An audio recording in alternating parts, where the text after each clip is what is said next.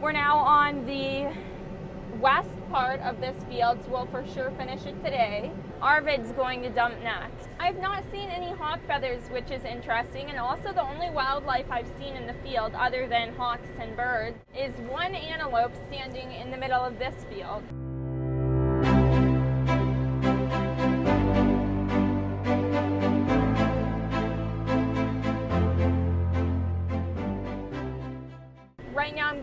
Into the middle of these swaths and just drive down to where I left off at.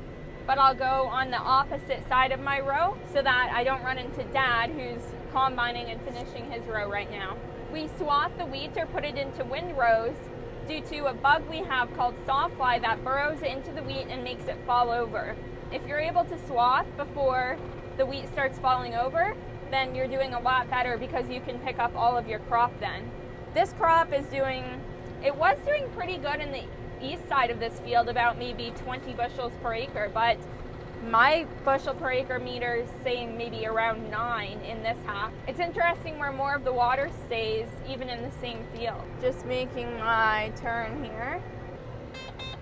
Stop, put it in turtle speed, put the back of the combine in, the front, press button number two to lower my header to the ground.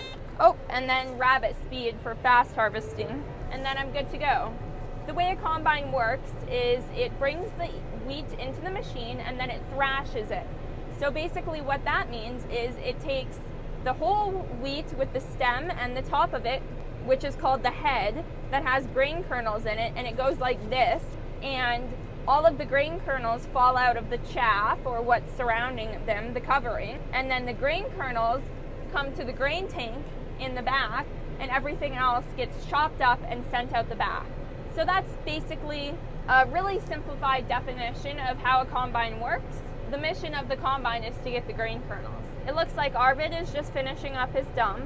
It's around 3.40. We usually have dinner at 6 and we're getting pretty close to completing this field, which will be nice.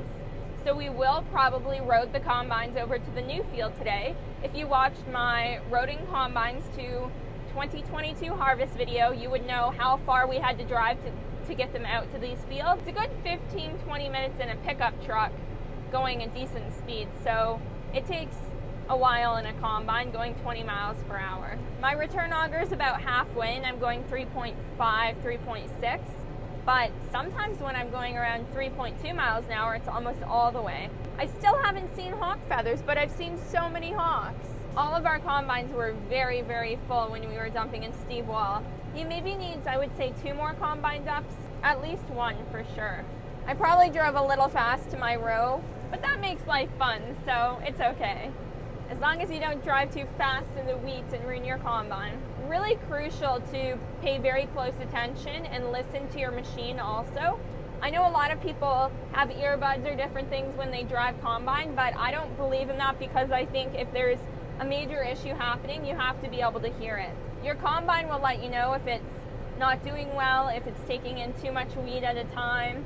Not as much as the 9610 though. When the 9610 was being overloaded with wheat to the point where it couldn't process it fast enough and it would plug up, you'd hear big grunting noises. These you won't, so you really have to watch your return auger and they'll plug up a lot easier than the 9610 will. But they still make noises and if something goes wrong, you'll hear noise or many different things. I love my Kate's Ag shirt. It's so comfortable and it's just really neat to be able to wear a Kate's Ag shirt driving the combine. I love it and I can't believe that I was able to make this happen. So I feel very thankful for everyone who has supported me through this process. It's been truly incredible. Well, I finally see some hawk feathers, so I'm going to go out and grab them. I see hawk feathers, which is so awesome. Right over there. My dad said he saw a hawk in my wheat swath, so I might see some feathers, and he was right. As I fall off the combine, here they are. Oh no, Arvid had to stop because of me. Here all the hawk feathers are that I picked up. I hope you enjoyed my little excursion out of the combine. It was a very dusty one. Now I'm getting back in the combine and the hawk feathers go in the little pouch. So now take parking brake off, engage my header, full RPM, and move forward. Now officially finished all of the fields out east, so that's so exciting. And a huge thank you to Arvid for roading down and taking the last half of my row so I didn't have to stay out in the field a little bit longer. That is really big plus to combine etiquette. Thank you, Arvid, for taking part of my row. Now I'm dumping in the truck and we're heading to a new field. Even if you're not full, you always dump in the truck after you finish the field. When you put it in the grain bins, that's how you calculate how many bushels you get per each field. So you want to make sure you're not transferring grain from one field to another field's truckload. Soon we'll be roading to a new field, which is exciting. Okay, did anybody ever tell you you should be smooth with things like that? No, never. Thanks for the tip, though.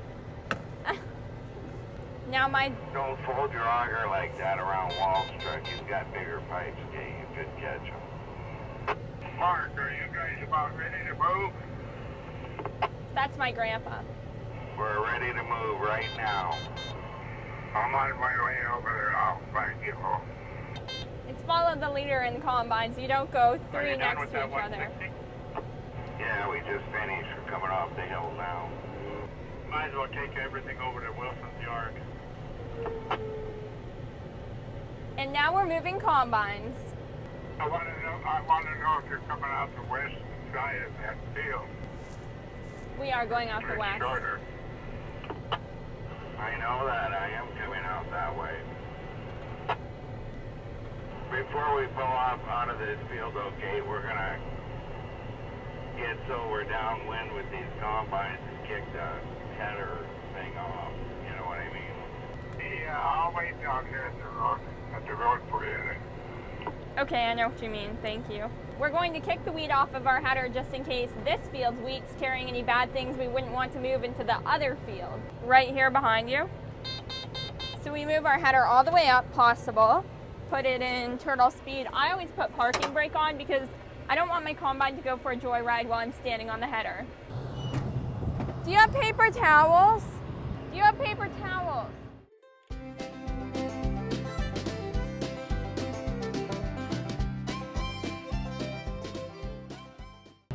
Now I'm back inside. I tried to see if there was a window light, but there wasn't.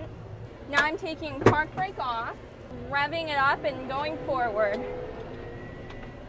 Can I put it in third, Dad? That's what I normally rode in, Kate. And we're in third. I'm going to slowly move onto this road. It is a dirt road. I'm just getting a moisture sensor. I'm just getting a moisture sensor problem. There are crops on either side of me, so I don't want to drive in them. They're already bad yielding enough. This should be a good speed. It's about 16 miles an hour. I cleared off the front of my, oh, this might be too fast, the front of my header. Grandpa should be waiting for us at the end of this road. He's going to flag us. These are some sort of peas on the right side. They might be lentils or they might be chickpeas. I'm not totally sure. I'm not super familiar with pulse crops yet. We just recently started growing them. And then there's wheat to my left. What's this crop? to the right of us? Chickpeas, I think. They're harvesting it actually right now.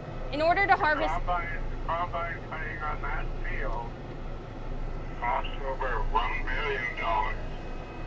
The combine cutting on this field, my grandpa just said, cost over $1 million. It's uh, probably a John Deere X9.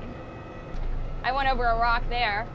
Chickpeas require a special header, so not pick up, you don't swath them or anything like we're doing now. They require a flex header, which is basically a straight cutting header that will mold to the ground. We actually don't own those, so we always have our peas custom cut. Watch out for that badger hole on the right. That's kind of a big bump. Yeah, I think that's the bump I just went through. Thank you, though. This is pretty fast, 21 miles per hour.